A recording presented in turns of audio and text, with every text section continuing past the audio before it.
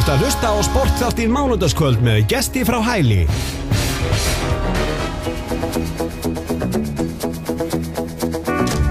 Sportátturum ykkur hérna á þessu mánudagskvöldi klukkan árið tímitur í tíu. Og ég byrst ásökunum hvað er leiðlangu tími hérna á milli viðtala. En já, nú erum við komin yfir í torfæruna. Næst komandi helgi er svaka daskra á hellu hérna á Suðurlandi sem að enginn á Íslandi má missa af því að þetta er alveg skemmtun gæðaskemmtun hérna á ferð en á línunni komin Kári Þorbarsson sem er mótastjóri Kontur blessa og sætlega ekki Sælvertu. Hvernig hefur það? Ég hef það mjög gott. Já, þú ert væntalega orðin, já, nokkur spenntu fyrir það ekki komandi helgi? Það vantar ekki. Nei, það er ekki, Ég held að allir, allir torfæri unnendur séu, eru skjálfandi, það lítur bara að vera. já, er ekki svolítið erfitt fyrir þig að vera hann í skipun, langar ekki meira eða bara að vera áhórandi að þessu? Það er eh, algjörlega þannig. Ég held að, hérna, en það er nú líka þannig þegar maður sér hvað aðrir fá að njóta, þá verður maður gladur sjálfkrafa. Þannig að, hérna, það er, það er hérna aldrei að vita að við náum að gleyðja einn eða tvo þarna. Ég er alltaf að vona það. já, náttúrulega. En það er hérna búið að skrá sér núna í fyrstu umferðina, það er hvorki meira nefn minna en, uh, já, 20 keppindur skráði til leiks.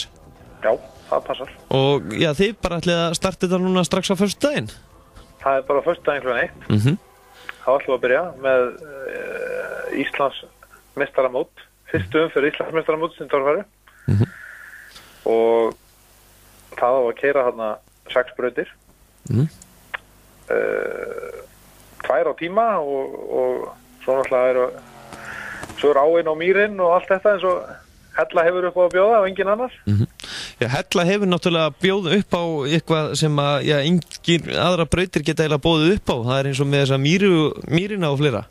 Já, það er, við höfum svolítið sérstöðu með það. Það eru nú einhverju drullupollar svona bæði akkur eru á eiginstöðum sem að menn er að menn er að fleita yfir en það er ekki, ekki í líkingu það sem við erum að bjóða upp á. En já, þetta hefst klukkan eitt á föstudaginn og já, þá er svona bara fyrsta umferð Íslandsmóstins í torfæru bara hafinn, formlega. Já, En svo er þið með eitthvað, já, nýtt sem að, já, sem að hérna margur áhugamadurinn sem að horfi á torfæruna í gamla daga og fleira, að, já, það er eitthvað, eitthvað vissla sem að menn vilja ekki missa af. algjörlega ekki. Það er sem sagt, við erum að halda upp á 50 ára ammali torfærinar á Íslandi. Af því að þannig er málum vekti að, að, að eh, Þorkell Gunnarsson og fleiri í BKR sem að eh, er gott félag sem að heitir Bifræða klúbur Reykjavíkur. Þeir held fyrstu torfærakefnin annan mæ 1965 fyrir þá þarna annan mæ verða skett 50 ár. Bæði hittir á lögadag og, og hérna og hérna já, það verða þessi 50 ár og það er, það er raun og veru bara við getum alveg kallað það bara afreg að hafa fengið það að ná því í gegn að halda þessa keppni hérna fyrir 50 árum. Og þeir eiga, þeir eiga heiður, skili fyrir það þeir sem stóðu í því ströggli það sem við búum að henni í dag. Já, enda er þetta náttúrulega algjör sérstæða þessi íþrótt uh, sem við Íslendingar höfum þarna. Algjörlega. Og hérna það er, líka gaman að sjá sko þetta eru, þetta eru bílarnir sem að vera að keppa á þarna. Þeir eru náttúrulega þeir eru það mikið frábröðnir þeim sem að þeim sem að við tekjum í dag að, að hérna já, ég, það, er, það er bara heiminn og hafa á milli. Já. það þeir færu, færu fimm sinnur lengra í afturdrifinu þeir sem að við erum á í dag en þeir sem að menn voru á í fyrir 50 árum Já. En náttúrulega fyrir 50 árum að, já, þá hlýtur, ég hljóta, já, svona, lög og reglugerðir ekki alveg beint svona uh, leift mönnum að halda svona keppni. Algjörlega ekki. Þeir, þeir, hérna, þeir uh, leituðu í uh, hátt í ára að, að, að, hérna, keppnisvæði sem að hentaði undir eitthvað svona og þar sem fekst leifi fyrir því og það voru nú bara góð fjölskyldutengl hjá honum Torkeli að Jóel Jóelsson sem var þá garðiskjumæður í Reykjavíð í Mósusveit eða Mósusdal heitir þetta nú. Hann hérna leifti þeim að staða þannig í þessu fyrstu kenni Já. á sinni landareik og hérna Þorkell var og fleiri þurftu hérumbila sæta fangilsvistar fyrir aðtæfið. Já, bara fyrir að hafa komið með þessa keppni þarna. Já, þetta þótti bara, þetta var, þetta var, þetta var líkt við bara glæfra akstur á göttunum raun og veru. Mhm. Það var bara, þetta myndi ít undir, ít undir það að menn færi að keira bara út um allt og, og hérna, já, og, og fara, fara í þverögu áttur raun og veru en, en varð svo. En andrúslótti orðið annað í dag því að nú er þetta orðið að ég heldur betur vinsælu móti og er e, bara, náttúrulega er bara í Íslands sögunni. Uh, já, má segja að það má bara rita torfæru keppninu á Íslandi sem sérstöðu sem er náttúrulega bara í Íslands sögunni í Íþrótum. Algjörlega og, og það er eitthvað sem að það er eitthvað sem að ég held að við þetta er svolítið líka þannig að við erum þetta er náttúrulega alltaf þessi keppni sem er í hvort sem við erum á jættufnum á fjöllum eða, eða erum allstaðar þetta er allt, allstaðar þessi keppni á milli manna. Það er svona hálgerðu metingur. Já. þetta hefur svona fyllt þessu svolítið. En uh, já, fyrir þá sem vilja koma já, báða dagana, er hægt að pa- kaupa sér einhvern passa fyrir það? Já, við erum, sem- þetta kostar 1500 krónur inn sikk og daginn og það kostar uh, 2,5 fyrir báðana þannig að það er smá gulrót. Svo erum við líka með þarna á, á lögadeginum annan mæ þá erum við með fleitingakenni Já, þar sem að hérna, bæði torfæri bílar og eh, venjulegi bílar. Það er nú eitt sem er bara lítið, lítið breyttur, kallast nú ekki torfæri bíl einn eða tveir. Og svo erum við mótorhjól og vjálslega að sína, listið sína þarna á vatni. Já, og hérna þar ætlar ætlar Guðbjörn Grímsson og ásamt fleirum sem eru skráðu til leiks torfæru á torfæru bílum að reyna að slá heimsmeð sem var sett í fyrra sem var 87 km hraði á vatni. Og hérna það verður allt saman mælt og gert og reynda, reynda að betta það verður gaman að fylgjast með því.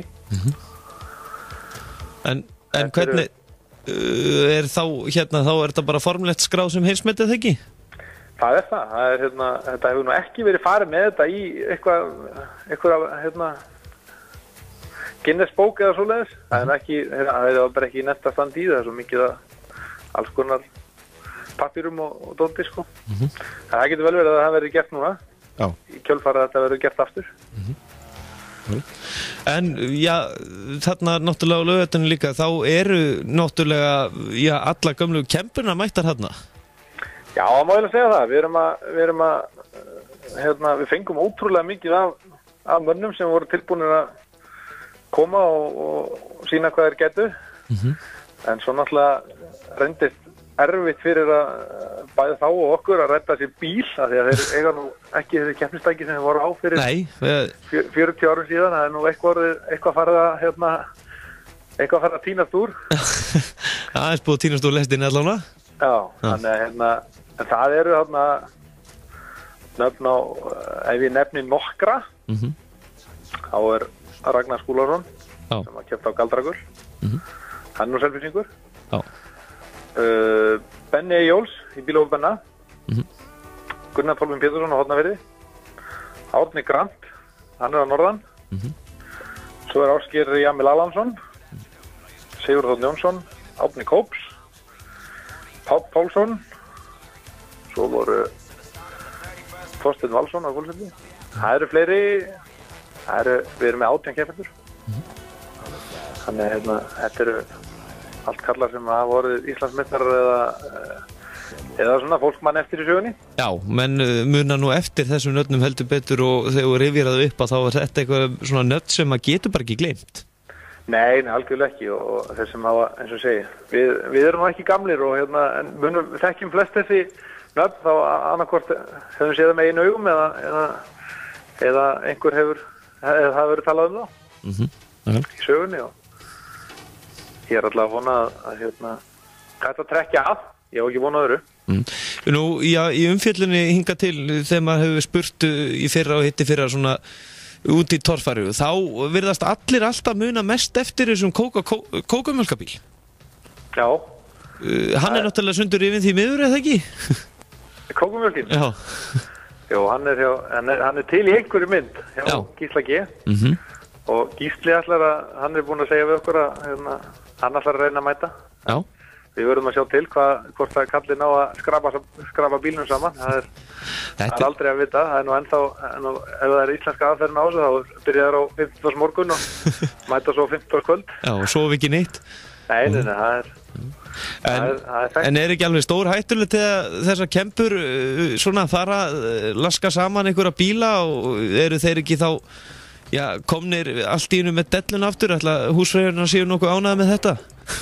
Það er allavega hérna, það er eitt sem hann neitt að koma hann, hann hérna, Haraldur Pétursson. Mm hann kefti nú í mörg ár Já. og hérna var alltaf í toppárrættinni og hann, honum bauðst mér þessa bíl til þess að keppa og hvaðina en hann fekk ekki til þess en var alveg vissum að fengið bellun og þetta að fara að smíða bíl. Já, ég veit þannig að hérna, það er það er alveg þekkt sko. Já En þetta er náttúrulega, tekist, þetta, þetta er sport sem þú getur ekki, já, svona, tekti alveg frá. Nei, algjörlega ekki En og, svo er þetta náttúrulega, já, algjör skemmtun þarna fyrir bara fjölskyldur eða því að sko það, það er krakkar sem hefur tekið eftir sem mæta og svona, þau bara eru alveg með fulla aðteglara því að þetta er svo mikið sjó. Já þetta er, þetta er ótrúlegt hvað hérna, svona bíldröslur og hávaði og smá bensínlikt getur getur haldið fólki við efnið það er alveg meiri segja meiri segja þeir sem ekki hafa áhuga á því þeir hérna, áhuga á bílum og, og, öðru að, að þeir einhvern veginn hrífast að þessu Já. Uh -huh.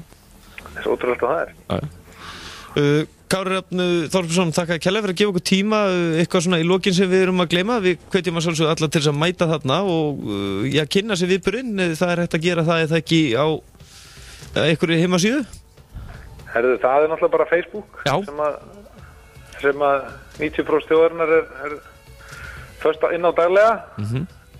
og uh, þeir hérna kannski eldri deildin sem ekki eru á Facebook þeir nippa bara í barnabönnin eða, eða bönnin og, Já, og hérna geta komist já það er bæði, bæði eru um ívent sem heitir Sindratorfærin á Hellu fyrst og annan mæ þar eru við að setja inn allar upplýsingar og bæði með staðsetningu hvað þetta er nákvæmlega hérna rétt austan Hellu og, og einmitt bara, það sem, bara svona undirbúningurinn.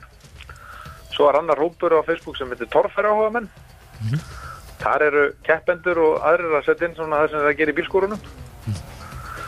Og hérna það er mjög skemmtilegt að aukjast með svona aðdraðanda keppni.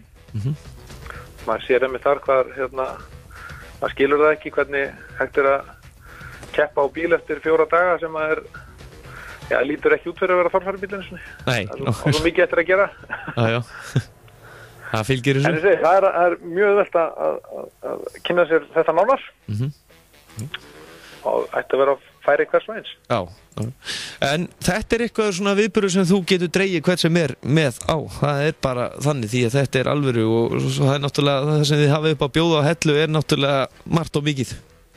Alveg klárlega. Við ætlum að eins með hérna, þeir sem hafa gaman að þessum eh, þessari ammælísýningu, eins og við kallum hana. Mhm.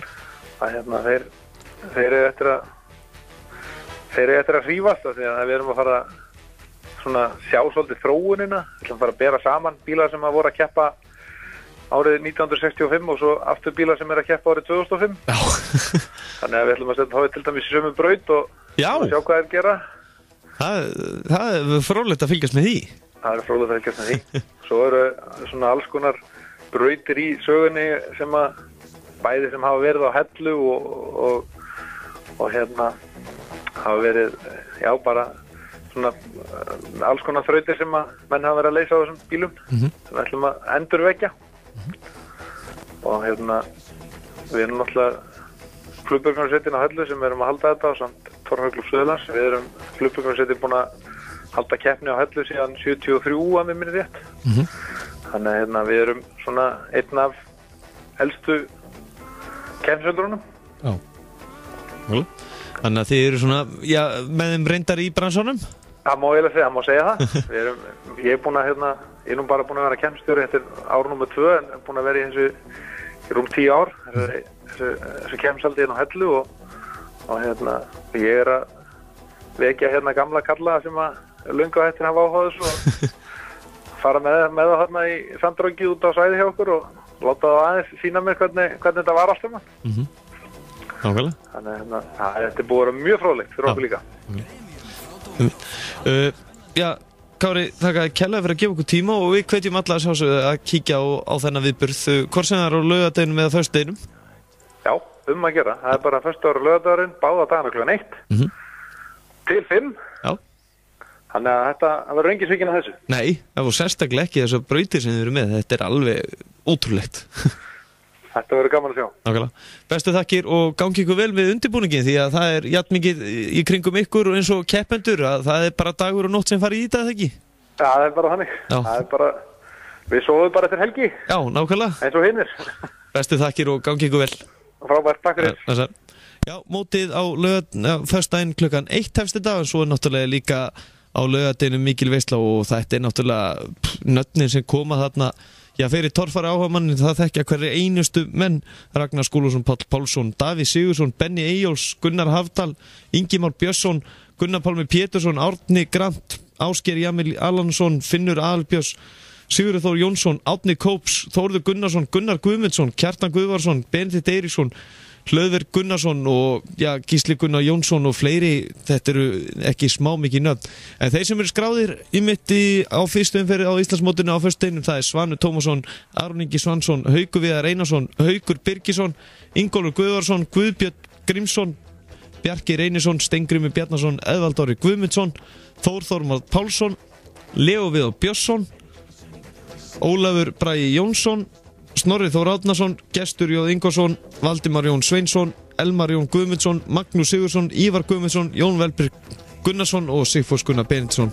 Þetta er ekki smá mikið nöfn, þetta er viðbyrð sem enginn má láta sér fram í fara. En sportáturinn er alveg að taka enda en við tökum að sjálfsögðu smá boltarspjallin í lokin og þessu sinni er það ekki enski boltin íslenski en eitt annir, við erum að fara allavega til Spánar og eftir smáðu hann er að fara að koma sér hérna fyrir Tómas Íðan Gunnarsson Barcelona aðdáðandi komið tími til. Við bjóðum aðgang að stólpa bókaldskerfi þér að kostnaðalegu